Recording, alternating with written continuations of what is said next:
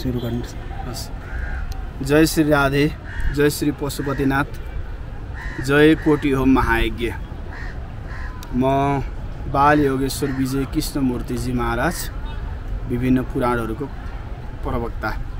र यतिखेर म हाम्रो राष्ट्रदेव पशुपतिनाथ भगवान्को सान्निध्यमा पशुपति क्षेत्र पाशुपत क्षेत्रमा छु।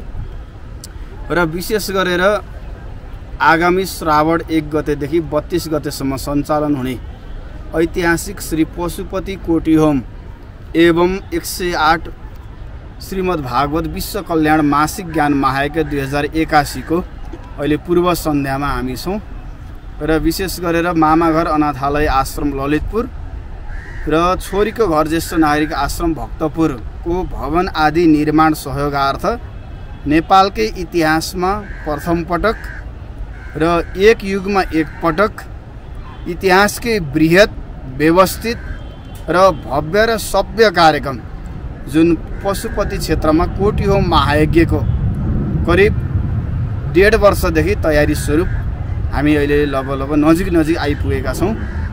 सम्पूर्ण श्रद्धेय आमा बुवा दाजुभाइ दिदीबहिनी समस्त आम श्रद्धालु भक्तजनहरूलाई यो विशाल यो ऐतिहासिक कोटिहोम जुन एउटा धार्मिक तथा सांस्कृतिक महामहोत्सव तुलादान महोत्सव तण्डुलाचल महोत्सव दुःख निवारण महायज्ञ सँगसँगै श्रीमद् भागवत कथाको वाचन यो भगवान् शिवको कथा सम्बन्धी शिव महापुराण वाचन देवी भागवतको कथा वाचन श्रीराम कथाको वाचन सँगसँगै अनेक कर्मकाण्डीय कार्यक्रमहरू हुँदैछन्। एकाउन्न सय कलशको पूजनदेखि यहाँ दुःख निवारण महायज्ञदेखि महारुद्राभिषेक अतिरुद्री पार्थिव एक करोड पार्थिव शिवलिङ्गलाई निर्माण गरेर करोड बेलपत्रद्वारा पार्थिव शिवलिङ्गको पूजन गर्ने कार्यक्रमदेखि एक्काइस करोडभन्दा बढी दीप प्रज्वलन आम नेपाली सबै देश र विदेशमा रहनुहुने नेपालीहरूको नाममा सुख शान्ति र समृद्धिको कामना गर्दै यो कोटी दीप प्रज्वलन गर्ने कार्यक्रम पनि हाम्रो रहेको छ। देश विदेशका जगद्गुरु सन्त महन्त कथावाचक वाचिकाज्यूहरू महाविद्वान पण्डित सन्त महन्त गुरुवर्गहरूको आगमन पनि यहाँ हुँदैछ र राजनेताहरूको आगमन हुँदैछ देश विदेशका सामाजिक अभियन्ताहरूको आगमन हुँदैछ। ठुला ठुला कवि सम्मेलन राष्ट्रिय भजन प्रतियोगितादेखि लिएर देशमै अहिलेसम्म हामीले नदेखेको त्यस्तो अलौकिक दिव्य उदाहरणीय नमुना अभूतपूर्व र साँच्चीकै अकल्पनीय अविश्वसनीय महायज्ञको रूपमा चाहिँ यो अगाडि बढ्दैछ। र अहिले काठमाडौँ भक्तपुर उपत्यकामा तेह्र सयभन्दा बढी महायज्ञ समन्वय सहकार्य सहयोग र साथ गर्ने भनेर चाहिँ विशेष उपसमितिहरू पनि हामीले विस्तार गरेका छौँ। यतिखेर चाहिँ सयौँजना व्यक्तिहरू देशका कुना काप्चाहरूमा प्रचार प्रसारका लागि महायज्ञको निमन्त्रणका लागि दौडिरहनु भएको छ। संविधा सङ्कलनदेखि जौतिल घिउ सङ्कलनदेखि सबैजनाले चाहिँ यसरी साथ सहयोग गर्दै आउनुभएको छ। अहिले सबै भक्तहरूले उपस्थित भएर पार्थिव शिवलिङ्ग निर्माण गरेर पूजन गर्ने अब घर घरमा बत्ती काटेर बत्ती लिएर आउने घरको आफ्नो घरको आँगनको माटो ल्याएर भूमि पूजन गर्ने आफूलाई दुःख आपद कष्ट विपद र परेका व्यक्तित्वहरूलाई चाहिँ विशेष गरेर चाहिँ आफ्नो दुःखलाई निवारण गर्ने यज्ञ भएको हुनाले साँच्चीकै यो ऐतिहासिक छ आफैमा उदाहरणीय छ। यो कार्यक्रममा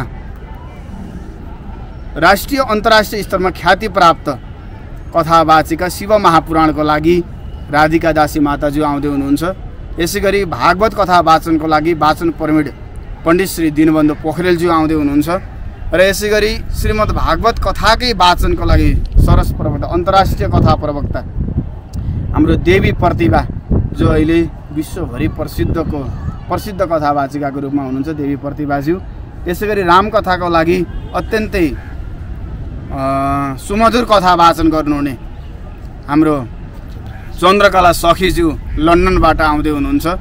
र यसै गरेर श्रीमद् देवी भागवत वाचिका सँगसँगै विभिन्न पुराणको प्रवक्ता हाम्रो डाक्टर कान्ता भट्टराई गुरुमाको पनि आगमन हुँदैछ। यसै गरी धेरैजना कथा बाजा वाचिकाहरू जमघट हुने यो कोटी हवन एक सय पचपन्नजनाभन्दा बढी ब्राह्मण गुरुदेवहरूबाट एक महिनासम्म पचासौँ हजार केजी चरुको हवन हुँदैछ। दसौँ हजार घिउले यो वातावरणको शुद्धिको लागि विश्वको कल्याणको लागि मानव र प्राणीहरूको कल्याणको लागि सुख शान्ति परमानन्द प्राप्तिको लागि हाम्रो जीवनकालमा न भूत न भविष्यति भनिएको छ यो यज्ञ। न भूतकालमा यस्तो यज्ञ भयो न त भविष्यकालमा हाम्रो जीवनकालमा हुन सक्ला या नसक्ला। यस्तो किसिमको महायज्ञ यो धरतीमा यो मातृभूमिमा त्यसमा पनि भगवान् शिवको प्रिय महिना शिव महिना भनेर चिने श्रावण मासमा एक महिनाभरि कोटी हवन कैलाश डाँडामा हुनेछ कथा वाचन हाम्रो हंस मण्डप क्षेत्रमा हुनेछ सुमार्गी भवनभित्र हामीले प्रसाददेखि अन्य कार्यक्रम अतिथिहरूको स्वागतको लागि प्रसादको व्यवस्था गरेका छौँ भने सुमार्गी भवनको बाहिरपट्टि रक्तदान कार्यक्रमदेखि अन्य पूजनका कार्यक्रमहरूदेखि विशेष विशेष कर्महरू हुनेछन् जो वैदिक सनातन धर्मभित्र रहेका गर्न मिल्ने सम्पूर्ण कर्मकाण्ड अत्यन्तै विधिसम्मत तरिकाले अत्यन्तै व्यवस्थित तरिकाले र अत्यन्तै धर्मशास्त्रको मर्यादामा रहेर गरिने यो यज्ञ साँच्चीकै आफैमा दिव्य छ अलौकिक छ र मलाई लाग्छ सारा करोडौँ नेपालीहरूको र देश विदेशमा रहने अन्य सनातन धर्म संस्कृति परम्परा मान्ने व्यक्तित्वहरूको पनि यहाँ आगमन हुन्छ। बौद्ध धर्मगुरुका अन्य रिम्पोछे अन्य ठुला ठुला धर्मका मर्मज्ञहरूको पनि यहाँ आगमन हुन्छ। किराँत धर्मगुरु अन्य धर्मगुरुहरूको जैन धर्मगुरुहरू जुन सनातन ओमकार परिवारको चाहिँ यहाँ ठुलो जमघट हुने र हाम्रो युगमा हामी जन्मेको समयमा हाम्रो यो समयमा हामीले यो यज्ञ देख्न पाउनु भनेको यो सौभाग्यवान मात्र भाग्यशालीले मात्र यो चाहिँ कार्यक्रम देख्न सक्नुहुन्छ। तसर्थ अहिले मिडियाको तर्फबाट अथवा यो प्राविधिक तर्फबाट अत्यन्तै सक्रिय भूमिका निर्वाह गरिरहेको पशु पाशुपत क्षेत्रलाई अझै विश्वभरि पुर्याउनको लागि जुन विशेष भूमिका निर्वाह गरिरहेको बुढा सुब्बा जुन डिजिटल प्रणाली छ यो प्रति यहाँको परिवारप्रति हजुरको सिङ्गो टिम र समूहप्रति चाहिँ म धेरै आभारी छु धेरै ऋणी छु। हाम्रा विचारलाई हाम्रा उद्देश्यलाई हाम्रा लक्ष्यलाई हाम्रा जुन बाँक भविष्यमा जुन हुने हाम्रा क्रियाकलापहरूलाई चाहिँ आम लाखौँ जनमानसमा पुर्याउने जुन भूमिका निर्वाह गर्नुभएकोमा धेरै धन्यवाद अर्पण गर्दै यो यज्ञमा बत्ती ल्याएर होस् चामल ल्याएर होस् अथवा घरको पूजा सामग्री ल्याएर होस् एउटा बेलपत्रको पात ल्याएर होस् भगवान् शिवलाई अर्पण गर्नको लागि यहाँ आउनुहोला। यहाँ आउँदा कुनै शुल्क लाग्दैन। यहाँ खाना बस्नको लागि दिनमा हजारजनालाई सुत्ने व्यवस्था व्यवस्था गरिएको छ। सँगसँगै करिब पाँच हजारजनालाई दैनिक प्रसादको व्यवस्था गरिएको छ।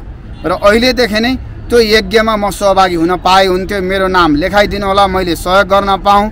भगवान् शिवलाई मेरो घरमा भएको केही अन्न साग सब्जी फलफुल अन्न हरेक कुरा मैले अर्पण गर्न पाऊँ भनेर नाम लेखाउने पनि हजारौँजना अहिले हुनुहुन्छ। र यो यज्ञको यो इतिहासमा एकपटक एक युगमा एकपटक आयोजना भएको यो यज्ञमा मूल कर्ता बसेर आफ्नो धर्मपत्नी अथवा श्रीमान श्रीमती अथवा पति पत्नी भएर एक महिनाभरि एउटा मूल कर्ता बस्नुभयो भने पनि त्यो साँच्चीकै एउटा आउने भावी सात पुस्ताको लागि पनि बितेका गएका सात पुस्तामा भएका पितृहरूको पनि तारणको लागि यो पितृ मोक्ष पनि यज्ञ भएको कारणले यो य- पशु पाशुपत क्षेत्रमा अहिलेसम्म नआएका भक्तहरूलाई पनि आफ्नो आमालाई लिएर आफ्नो बाबालाई लिएर आफ्नो परिवारसहित भगवान् भोलेनाथको दर्शन पनि गर्ने कोटियमको दर्शन पनि गर्ने र आफ्नो जीवन जगत र ईश्वरलाई बुझाउने। जन्म र मृत्युको बिचमा बुझ्नुपर्ने कुरा के हो त? प्रवचनको माध्यमबाट बुझ्नको लागि एक दिन भए पनि पके पनि सबैजना उपस्थिति भएर सहभागी जनाएर यो यज्ञको भागीदार बनी प्रसाद ग्रहण गर्नको लागि र कोटि कोटि पुण्य लाभ प्राप्त गर्नको लागि सबैलाई आह्वान पनि यही हाम्रो बुढा सुब्बा डिजिटल परिवारबाट यो युट्युबबाट